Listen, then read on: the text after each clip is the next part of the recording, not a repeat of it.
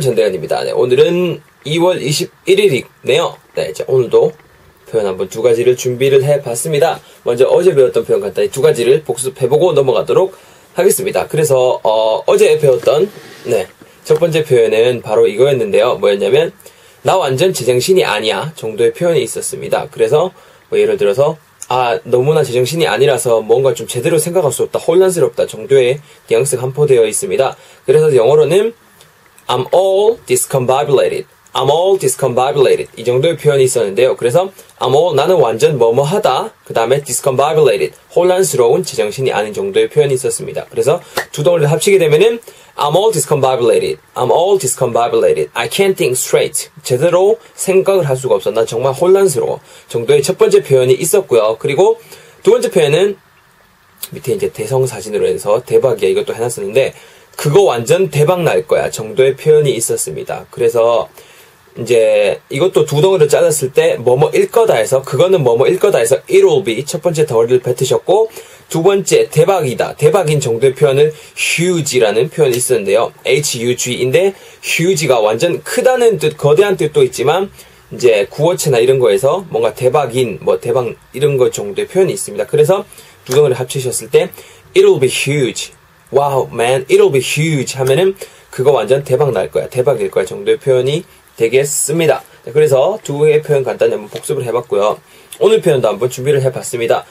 어, 첫 번째 표현은 네 이걸 준비해봤어요. 뭘 준비했냐면은 개 길치야. 네 이 표현이에요. 되게 간단하죠, 그죠? 그래서 개 길치야 정도의 표현을 근데 되게 간단한데 영어로 어떻게 할지 이제 연습이 안 되면 되게 못할 것 같아서 이 표현도 한번 준비를 해봤는데요. 일단 영어로 완벽한 문장을 뱉게 되면요. 그니까 개론 그 남자를 해볼게요. 그래서 he has no sense of he has no sense of direction. 그래서 그는 가지고 있다. he has 가지고 있다. no sense 어떤 감각 아무런 감각이 없는 of 뭐뭐의 direction 방향의 감각이 없다. 방향의 감각이 없음을 가지고 있다. 지역하면 이 정도인데 쉽게 말해서 방향 감각이 없다는 거죠. 그리고 방향 감각이 없다는 뜻은 그렇죠. 길치라는 거거든요. 그래서 이 정도로 he has no sense of direction이라고 했을 때 걔 길치야 정도의 의미가 된다는 거 이 정도로 알아가시고 이제는 연습을 같이 한번 해보도록 하겠습니다. 그래서 이것도 두 덩어리로 제가 한번 잘라볼게요. 그래서 첫 번째 덩어리를 그는 가지고 있다 정도로 해서 첫 번째 덩어리는 he has 그는 가지고 있다 he has 정도로 자르고요. 두 번째 덩어리는 방향 감각이 없는 그러니까 방향 감각이 없는 것을 가지고 있다 이 정도거든요. 그래서 방향 감각이 없는 정도는 no sense of direction, no sense of direction, direction. 방향, no sense of direction. 방향 감각이 없는 것을 he has 가지고 있다 정도가 되겠습니다. 자 이번에 한번 연습해 보도록 할게요. 제가 한번 해볼게요. 자 그는 가지고 있다. he has. 그는 가지고 있다. he has 방향 감각이 없음을 no sense of direction 방향 감각이 없음을 no sense of direction. 다시 한번 해볼게요. 그는 가지고 있다. He has 방향 감각이 없음을 no sense of direction. 두 개를 합치시게 되면요. He has no sense of direction. He has no sense of direction. 자, 아시겠죠? 자, 이번에는 여러분 턴입니다. 이번에 제가 덩어리를 던져 드릴 테니까 여러분 직접 입으로 뱉어 보시면서 꼭 따라 하셔야 여러분 표현이 된다는 거 명심하시고요. 자, 한번 가보도록 하겠습니다. 자, 갈게요. 자, 그는 가지고 있다.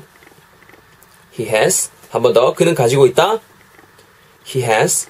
방향 감각이 없음을.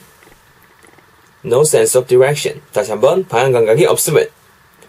No sense of direction. 자, 이번엔 진짜 말 안 할 테니까 한번 여러분들이 해보세요. 갑니다. 그는 가지고 있다. 그는 가지고 있다. 방향 감각이 없음을. 방향 감각이 없음을. 자, 합쳐보세요. 그는 가지고 있다. 방향 감각이 없음을. 자, 정리를 제가 한번 해볼게요. 잘하셨어요? 정리를 하게 되면요. 그는 가지고 있다. He has 방향 감각이 없음을. No sense of direction. 그래서 He has no sense of direction. He has no sense of direction. 그래서 He's always been lost. He's always been lost because he has no sense of direction. 걔는 방향 감각이 없기 때문에 항상 길을 잃어. 첫 번째 표현은 그거였고요. 두 번째 표현은 뭐냐면은 아, 왜 이제 친구들이나 특히 이제 뭐라고 해야 되지? 좀 어렸을 때 어린 애들 보면은 왜 끼리끼리 논다고 하죠? 되게 완전 그 완전 진짜 막 자석처럼 이렇게 막 맨날 이렇게 붙어서 다니는 애들 있잖아. 그래서 걔들 항상 항상 자석처럼 붙어 다녀 정도의 표현을 제가 한번 준비를 해봤습니다. 그래서 뭐 영어 영어 영어로 이제 정의가 이렇게 내려져 있어요. 그래서 뭐 to stay very close to someone. 그래서 어떤 사람에게 정말 가까이 머무르는 것 정도로 제가 한번 직역을 해봤는데요. 그래서 표현을 일단 뵙게 되면요. 걔네 항상 자석처럼 붙어 다녀 영어로는 이렇게 쓴다고 합니다. They stick together like glue. They stick together like glue. glue가 이제 그잖아요. 왜? 풀. 풀, 풀, 풀. 풀을 이제 glue 이렇게 쓰거든요. G-L-U-E. 그래서 they stick together.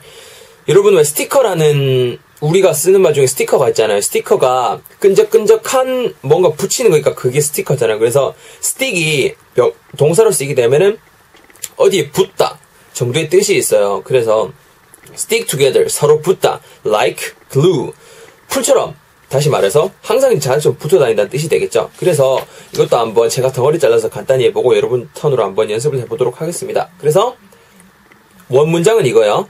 They stick together like glue 이거고요. 제가 한번 잘라볼게요. 그래서 첫 번째 덩어리 이렇게 잘라봤어요. 그들은 함께 붙어 다닌다.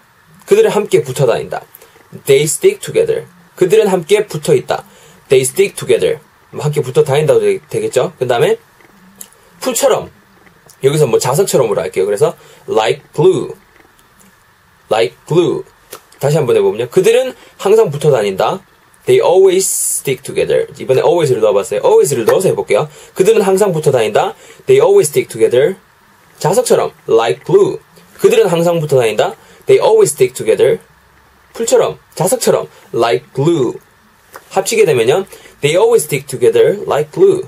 They always stick together like glue. I think they are very close. They all, because they always stick together like glue.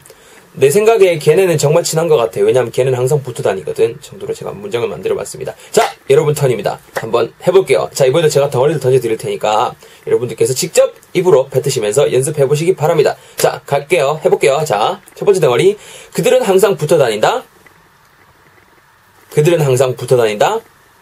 They always stick together. 마지막에 한 번만 더요. 그들은 항상 붙어 다닌다. They always stick together. 풀처럼, 자석처럼. 자석처럼. 자석처럼. Like glue. 자, 합치시게 되면요. 다시 합쳐서 한번 해보세요. 자, 다시 한번 해볼게요. 그들은 항상 붙어 다닌다. They always stick together. 자석처럼. Like glue. They always stick together. They always stick together like glue. 자, 정리해보면요.